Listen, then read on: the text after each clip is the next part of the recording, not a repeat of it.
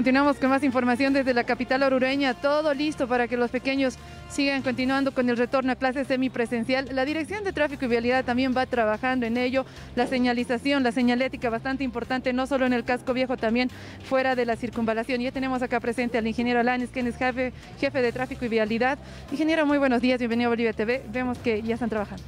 Efectivamente, desde muy tempranito acá en la capital del folclore, Ah, bajo las instrucciones también, recomendaciones de nuestra primera autoridad municipal, el ingeniero Ademar Wincarani, estamos llevando adelante lo que significa eh, el aspecto preventivo en nuestras unidades educativas acá en nuestro municipio.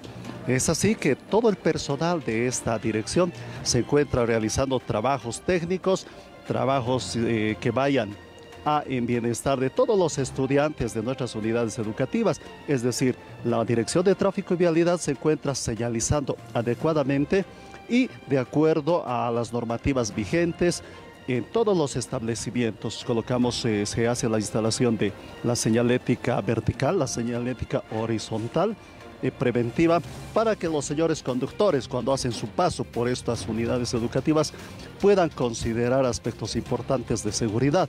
Entonces, eh, estos trabajos se están llevando adelante en todas las unidades educativas de nuestro municipio. Hoy, por ejemplo, estaremos en la unidad educativa Jesús de Nazaret.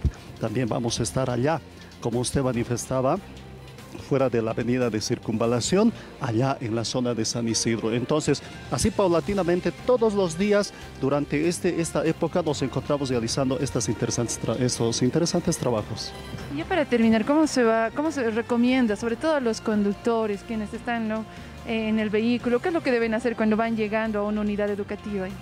De acuerdo al código de tránsito, eh, no existe 5, 10 o 20 kilómetros hora, lo que manifiesta la normativa, es decir, la ley es que los señores conductores, ya sean de, particulares, ya sean sindicalizados, los señores conductores que hacen su paso por una unidad educativa, debe considerar la señalética correspondiente. La misma indica que los señores que hacen su paso deben ir a paso del peatón. Esto significa completamente eh, lento, lo que permitiría cualquier reacción en ambos casos, tanto por el señor conductor y también por los peatones. Perfecto, muchísimas gracias, ingeniero. Como ustedes pueden observar, ya están listos para ir a trabajar. Importantes recomendaciones para los conductores, sobre todo, respeten a los pequeños, respeten a los escolares que están volviendo después de dos años a las unidades educativas.